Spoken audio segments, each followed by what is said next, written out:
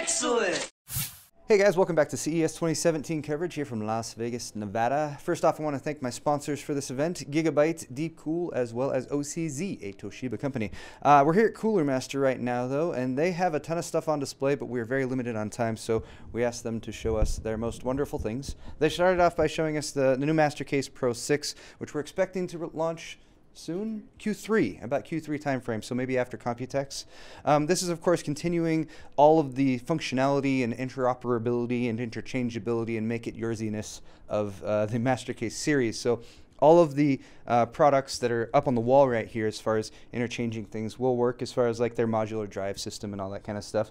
This one's a little bit more optimized for silence. Uh, it has a tempered glass side panel on it, on it right now. It's going to ship with that.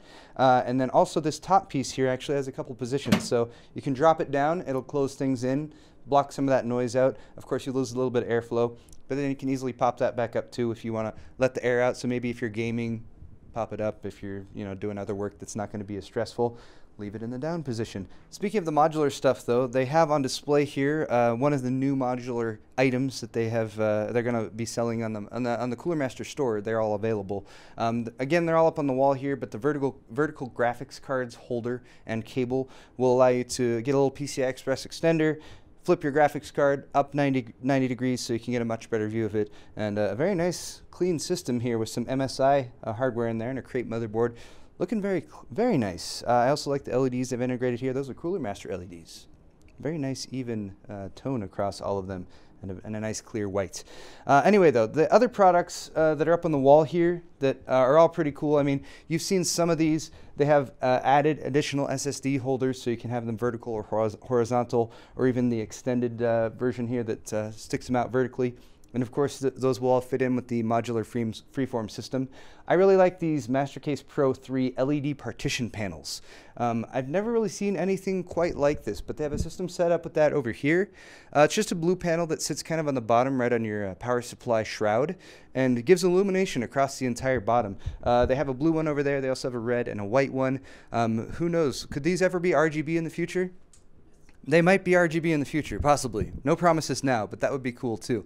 I mean, if you're into RGB, of course. Uh, but the, actually, the thing that they seemed most excited about, and I feel like since I just listened to Kyle say all of these things, I'm repeating everything that he said. So I'm going to steal all of all of his stuff. He's also the camera person right now, um, and talk about this right here. This is a $1,000 power supply, and you're like, why is it $1,000? Because it's the best power supply ever made. That's what Cooler Master says, but I, I tend to believe them. This is the Master Watt Maker 1200 MIJ. MIJ stands for Made in Japan. And Cooler Master said, conceptually, what if we built a power supply and we did not care about cost or anything like that? We just wanted to make the best power supply possible. So for that, they had to go out and work with some new partners. The specific partner they worked with is Murata. They're described to us as kind of the NASA of Japan. Um, and you can look up more information on them if you're interested. Um, but they worked with them to basically add additional filtration and other components in there that I'm not even qualified to talk about really, but basically to like make it the cleanest power you could possibly get, like zero ripple and um, all incredibly high quality components, all from Japan.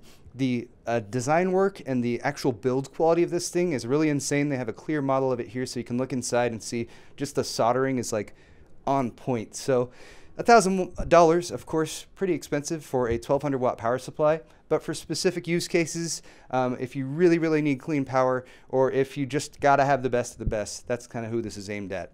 Kenzo Tamura is the name of the project engineer. His picture's down here, and he's like the lead engineer who helped uh, design this with Cooler Master.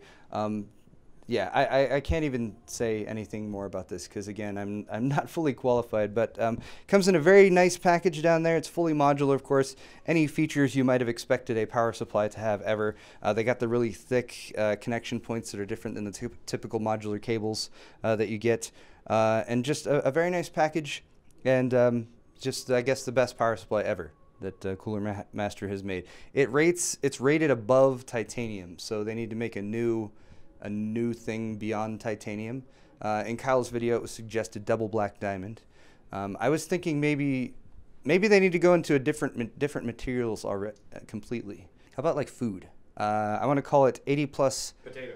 80 pl- no potato would be bad. It starts at potato, and then it works its way up to, works its way up to like velvet cake. I think this is 80 plus velvet cake rated. That makes no sense. It's like an Android software.